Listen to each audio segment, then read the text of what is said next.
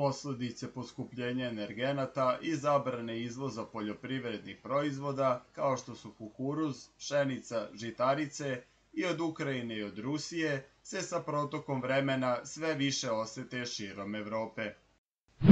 Veliko poštovanje, dobrodošli na kanal Srbija Info. Ukoliko vam se sviđa sadržaj, podržite rad kanala tako što ćete ga lajkovati i zapratiti. Osim rasta cijena tih sirovina, koje su podstakle potrošače širom kontinenta da panično kupuju osnovne namirnice, Evropa se sada suočava i sa još jednom indirektnom posledicom. Naime, supermarketi širom kontinenta, od Španije do Rusije, su zbog praznih rafova, isto kao i na početku pandemije, počeli da uvode ograničenja prodaje kako ulja, tako i drugih namirnica. Ipak i ove mere prema saopštenjima nadležnih institucija mogu da se ispostave kontraproduktivnim.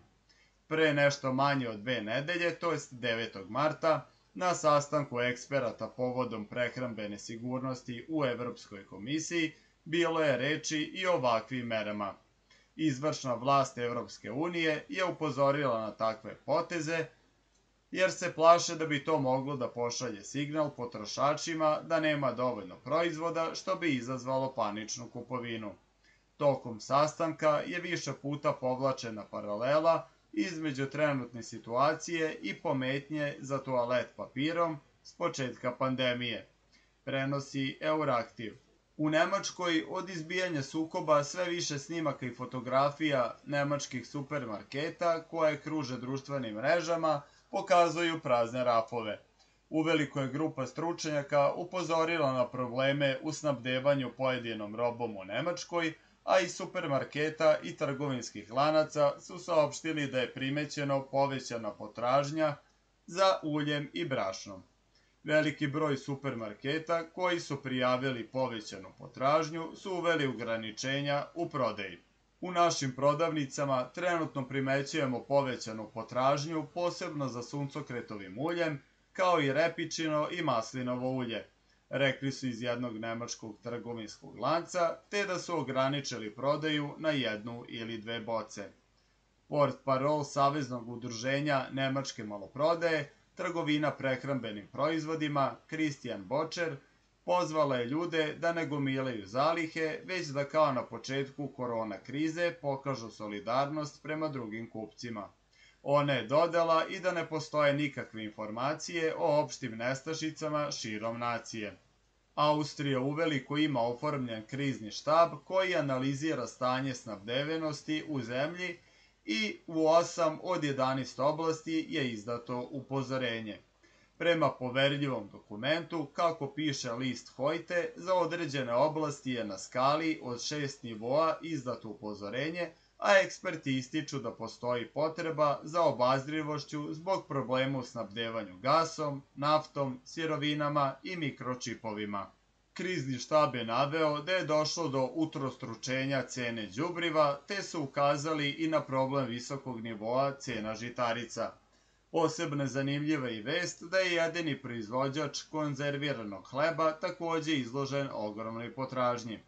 Svaki dan dobijamo oko 300 naručbenica građana, a uz to imamo i sporozume o snabdevanju prodavnica za preživljavanje.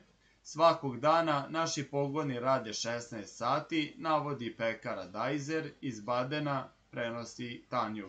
Prema pisanju jutarnjeg lista, porodice u Hrvatskoj masovno kupuju ulje, te bi trgovci mogli, u slučaju da potražnja ne padne, da uvedu restrikcije. List je preneo i izjave velikih trgovinskih lanaca u Hrvatskoj, koji su rekli da su dobro snabdeveni i da ne nameravaju da uvedu restrikcije još uvek. Veliki trgovinski lanci u Belgiji su ograničili prodaju brašna, ulja i konzerviranog povrća zbog povećane potražnje. Iz nekoliko kompanija su napomenuli da je u pitanju preventivna mera, te da nestašica u suštini nema. Kupci u Belgiji trenutno mogu da kupe u pojedinim radnjama samo dva pakovanja ulja, brašna ili konzerviranog povrća. U Španiji se već danima beleži navala na brašno. Ova zemlja je do sada uvozila čak 62% ulja iz Ukrajine te ga je pored panike sve manje.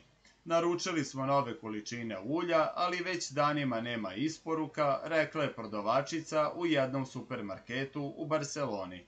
Pojedini supermarketi ograničili su prodaju suncokretovog ulja na 5 litara po osobi, a ista mera važi i za brašno. Udruženje supermarketa i drugih velikih trgovinskih lanaca Asedas je pre par dana ukazao na neobičajeno ponašanje potrošača i saopštilo da je snabdevanje ovim proizvodima u Španiji osigurano. Ipak, prema pisanju tamošnjih medija, do problema može doći na leto i dodaju da zbog zaustavljanja izvoza kukuruza iz Ukrajine može da dođe i do nestašica stočne hrane. Kremlj je već nekoliko puta upozorio narod da ne paniče i masovno kupuju namirnice kao što su šećer i pšenica.